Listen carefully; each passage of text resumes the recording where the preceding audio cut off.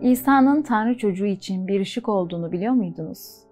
Ben İsa'ya eğer izin verirsek kalbimize parlayacak parlak bir ışık olarak bakıyorum. Benim hayatımda o ışığı reddettiğim bir zaman olmuştu.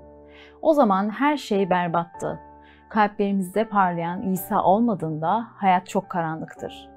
Benliğe dayalı hayatımı bırakıp İsa'nın kalbimde parlamasına izin verdikten sonra hissettiğim sevinç ve esenlik tarifsizdi.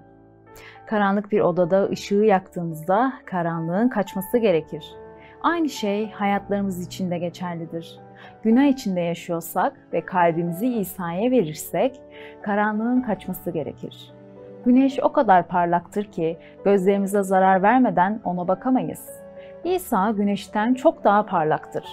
Kutsal kitap cennete gittiğimizde güneşe ihtiyacımız olmayacağını söyler. Cennetin ışığı Mesih'in kendisi olacaktır. İsa'nın yaşamlarımızda ve yaşamlarımızdan parlamasına izin verelim.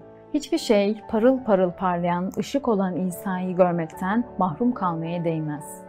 İsa'ya hayatınızın bütünlüğünü vermiyorsanız bu işi bugün yapın.